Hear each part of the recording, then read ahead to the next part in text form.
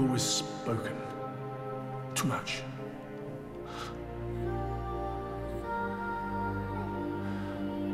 Today, for the first time, listened.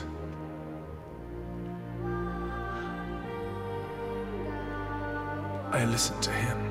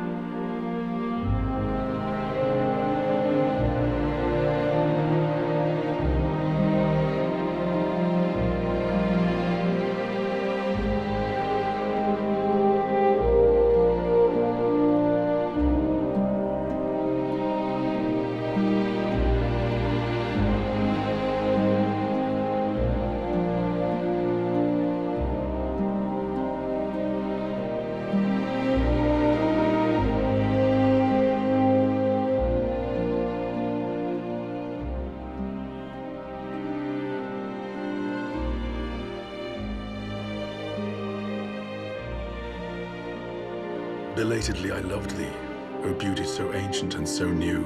Belatedly I loved thee. Thou didst cry aloud and force open my deafness. Thou didst shine and chase away my blindness. Thou didst breathe fragrant odors, and I drew in my breath, and now I pant for thee. Amen. I tasted, and now I hunger and thirst. Thou didst touch me, and I burned for thy peace. You have humiliated yourself.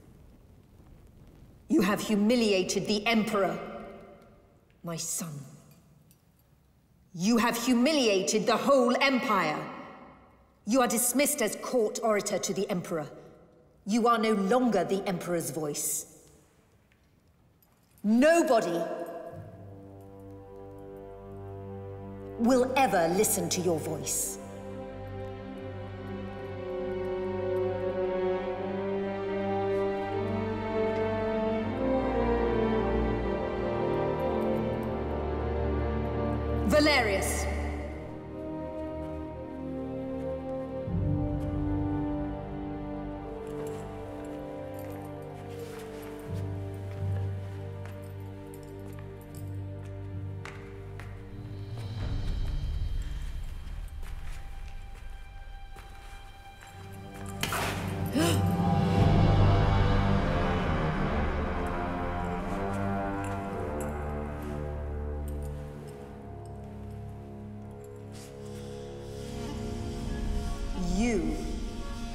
Betrayed our trust. You made us look foolish in front of the whole Empire. We will not tolerate being made to look ridiculous.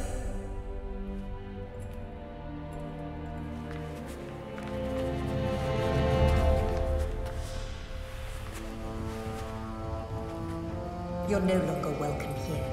Go back to where you came from.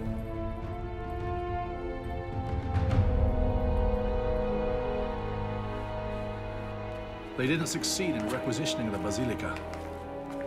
Your conversion has given courage to the people who now fill it. The Empress couldn't kill us all. And now, what are you going to do? I'm going to Ostia with my mother and my son. From there, we'll embark on a ship for Africa to go home. And once you've arrived? I want to study and pray. Live in seclusion. It won't be easy for you to live in seclusion. I speak from experience. I don't feel worthy of priesthood. He'll ask more of you than that. Here. It's ink. Remember to use it all.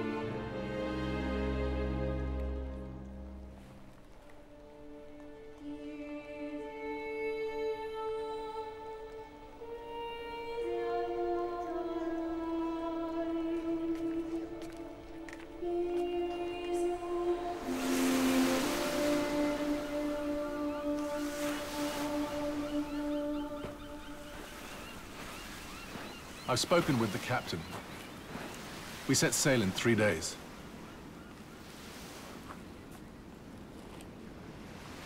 I always wished to be buried in my homeland. In Africa.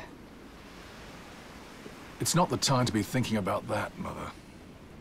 But you know, it doesn't matter anymore. You can bury me anywhere. Even here. There was only one thing I've ever desired. I ever lived for.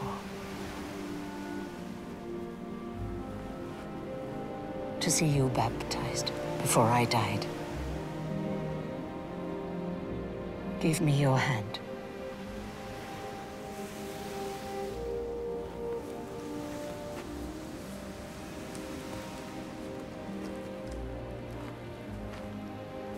There's no need to be afraid.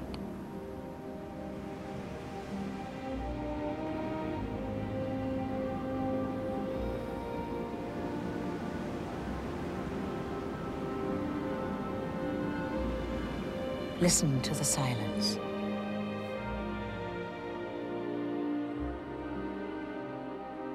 Our life is just a shell. Fragile, temporary. But there is something that lives within us that is not fragile. It's not temporary. We are already living an eternal life, my son.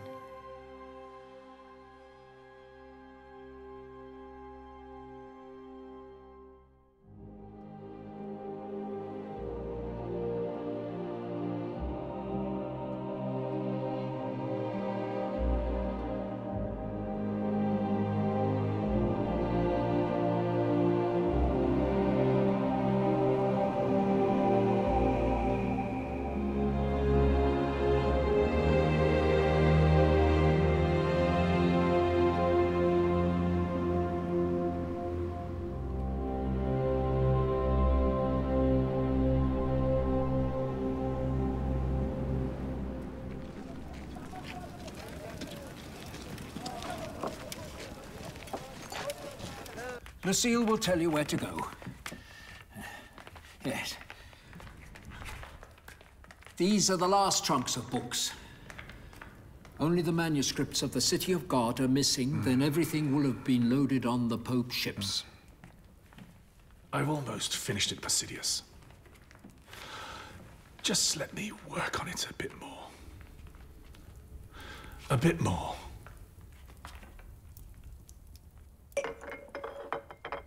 Come on, come on. Out through the side door. Quick about it.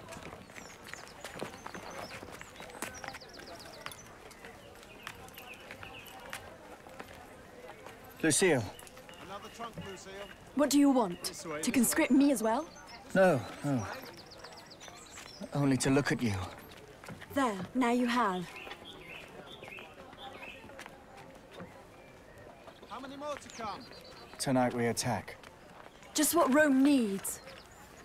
More dead heroes to worship. Yes, I will fight for Rome. But I will live for you.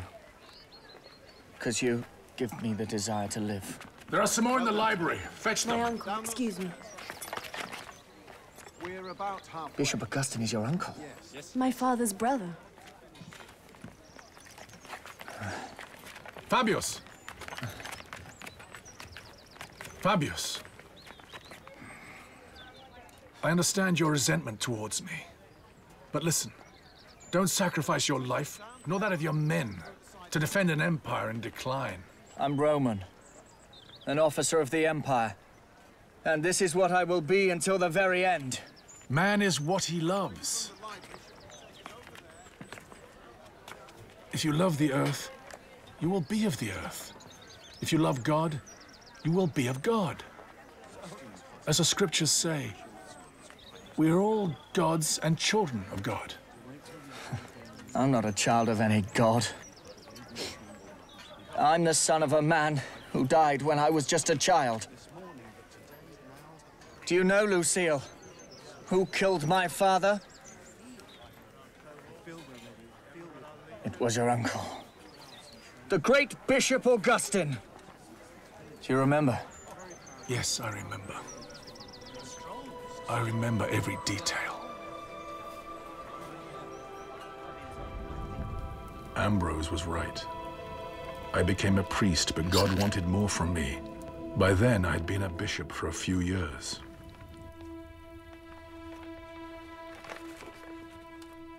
Now that the confessions is finished, what will you dictate in this room? I have a few ideas in mind, but only one in particular is urgent. A book to defend the Church from the accusation that it's leading the Empire to ruin. In fact, since Rome was sacked by Alaric, the Church has been blamed for everything. Instead, the Church will be the one to hold on to the traditions of Rome. In these uncertain times that are in store for us. Have you chosen the title? The City of God. Bishop. Something terrible. Oh, dear. Oh, God. It's Father Babylos. His hands have been cut off. Why? And his tongue has been cut out. The Donatists have done this. The fanatic Donatists. There is a difference. I know the difference. But when word of the murder gets out, people won't make such a subtle distinction. We could risk the breakout of civil war between the Catholics and the Donatists. No. What are you going to do? A council? Yes. You are the bishop of the Donatists, and I of the Catholics. Let's bring our priests together for a public debate in Carthage. Until we establish who's right and where the truth stands. The truth? The truth. And when we have established the truth? If the truth lies with the Donatists, then we will become Donatist. If it lies with the Catholics, then you will become Catholic.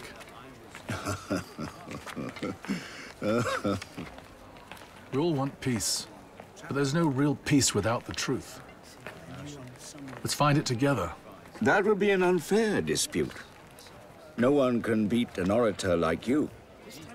I won't be participating in the debate. You won't be participating? I'm only concerned about one thing, Sidonius. The truth. If by any chance, the Catholics should, should win the debate, I wouldn't want anyone to suspect that it was all due to the skill of rhetoric instead of the truth of the arguments. One condition. The judge has to be neutral and above suspicion. We will select him together.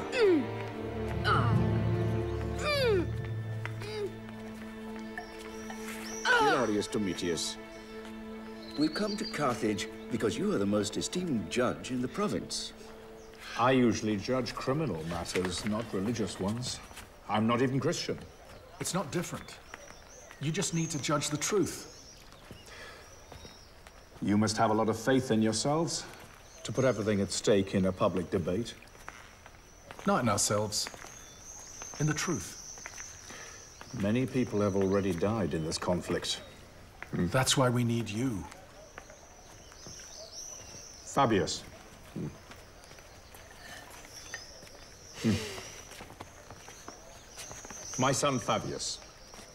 He has the same eyes my son used to have. Well, he's upset. Because I promised to spend the day with him. My fault, Fabius. My fault. I took your father away from you today.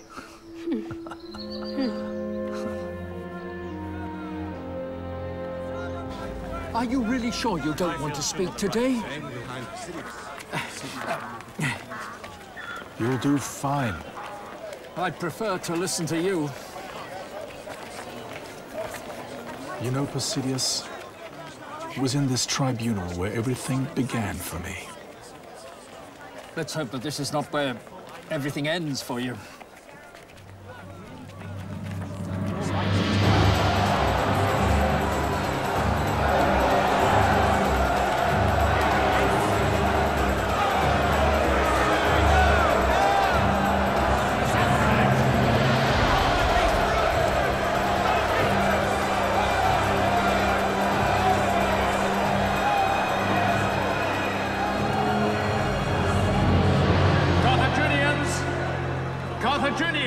Speak!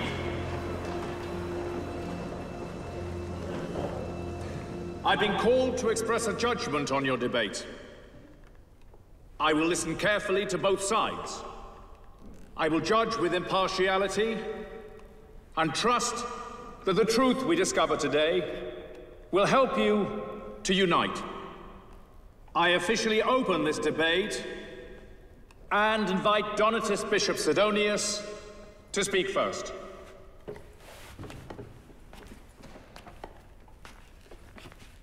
Illustrious Judge, today I speak before you, gentlemen, ladies, and our God. I could talk about religion, sin, betraying the scriptures, or the fractured history with our Catholic brothers. But today I want to speak of only one man. A priest who's been the greatest sinner of us all.